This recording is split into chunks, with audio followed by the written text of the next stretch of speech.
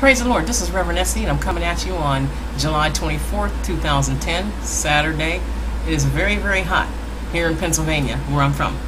And I hope that everybody is comfortable. I hope you're staying out of the heat. God is good. Amen. I wanted to come to you today and talk to you about Zacchaeus. Um, in Luke chapter 19, turn your swords to Luke chapter 19. I hope that you've been blessed and I hope that you've been staying in contact with the Lord, having communication with Him, praying to Him. Pray always. The Bible says never cease to pray. So pray to God always. Talk to Him. Meditate. Amen. Meditate on God. And I'll start with uh, Luke 19, chapter 1. And it says, And Jesus entered and passed through Jericho. And behold, there was a man named Zacchaeus, which was the chief among the publicans, and he was rich. And he sought to see Jesus, who he was, and could not for the press because he was little of stature. And he ran before and climbed up into a sycamore tree to see him, for he was to pass that way. And when Jesus came to the place, he looked up and saw him and said unto him, Zacchaeus, make haste and come down, for today I must abide at thy house. And he made haste and came down and received him joyfully. When they saw it, they all murmured, saying that he was gone to be guest with a man that is a sinner. And Zacchaeus stood and said unto the Lord, Behold, Lord, the half of my goods I give to the poor, and if I've taken anything from any man by false accusation, I restore him fourfold. And Jesus said unto him, this day is salvation come to this house, for so much as he also is a son of Abraham. For the Son of Man has come to seek and to save that which was lost. And as they heard these things, he added and spake a parable because he was nigh to Jerusalem and because they thought that the kingdom of God should immediately appear. And he went on about the parable of the pounds. What does this tell us that we just read? First of all, it tells you that there is a perfect elevation in your life, regardless of how low on the totem pole you may be. Whether you're small in physical stature, whether you're small in emotional or spiritual stature, you might not have a PhD.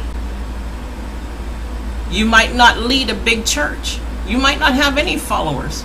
You may not be the kind of person that people like. But Jesus likes you. Jesus loves you. In fact, Jesus will pick you out of the masses when he sees that you've done everything that you can to see about him to choose Him, to peek and peer on Him, to watch Him. You've heard so much about Jesus, and you want to get to know Him. You just want to see Him with your eyes. You just want to lay your eyes on this man that you've heard about, this God that's walking in a physical body, and still does. He walks with us, in us, the Holy Spirit of God the three in one God, the triune God. And when God sees the effort that you put toward getting to know Him, He will bless you. He will bless everything that you lay your hands to do. Now, Zacchaeus was small. You can only imagine what he went through, the people that teased him because of his stature. You know, we always seem to find something to tease somebody about. Ask me how I know. You know, but the person that you tease is just as important as you are. Who are we to talk about one another? And see, all these people were, were thronged around Jesus to see him. And Zacchaeus climbed up into the sycamore tree because he heard Jesus was supposed to pass that way, which means he was on a lookout. He was a watchman. And a watchman need not be ashamed. The watchman was not asleep. And Jesus looked up and saw him. Can you imagine Jesus looking up to anyone? Amen. We all should look up to him. And he told him to hurry up and come down out of that tree. That was Zacchaeus' divine call. Zacchaeus got a call from Jesus. And he answered him. It says, when, and when he came down in verse 6, Luke 19 6, it says, And when he came down, he received him joyfully. Jesus received Zacchaeus joyfully, and Zacchaeus received Jesus joyfully. Receive the call of God joyfully, not being ashamed because of what you are, what God wants you to be. Don't ever be ashamed of the gospel. Don't ever be ashamed of God's word. If people make fun of you, so be it. Who are they? Consider the source. You know, uh, the ones that make fun of you got to see whether or not they're going to burn, you know, or, or go to heaven. Amen.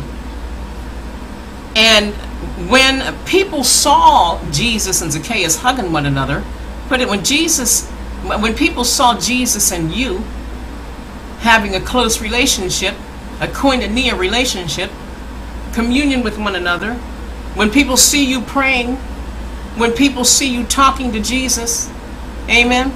When people see you living a holy life for Jesus, they're going to murmur. The Bible says they, and when they saw it, they all murmured and they said that he was going to be a guest with a man that is a sinner. They called, they called Zacchaeus a sinner. Who can judge but God? How can I say you're a sinner how could you say I'm a sinner? The only one knows is God. God's the one with the rule book. God is the one with the rule book. Amen. They called him a sinner. They labeled him. That's they bigotry. They they were bigots. They were fault finders. Amen. And in your life, you will have bigots and you will have fault finders. You will have people who are going to obs- almost seemingly obsessively try to find something wrong with you. Um, they're going to do it. The devil's going to send his people. It's whether or not you believe it, it's whether or not you listen to them. Amen. And Zacchaeus transformed. He he got forgiveness he gave restitution and said, Half of what I have, half of my goods I give to the poor. And if I owe anybody by false, you know, if he said, if I've taken anything from any man by false accusation, I restore him fourfold. And Jesus said unto him, Salvation has come to your house. For as much as you are a son of Abraham, Jesus called him, you're a son of Abraham, the father of all nations.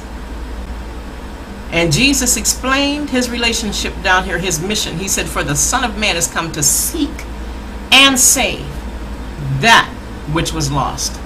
Notice he said, was lost. In other words, Jesus is saying, Zacchaeus, because you found an interest in me, you are no longer lost. I got you. I got your back. And this is what God is telling you today. Even though sometimes it might look like you might be going through something, but God is saying to you, I got your back. Thank him. Reverend Essie signing out. God bless you and have a good day.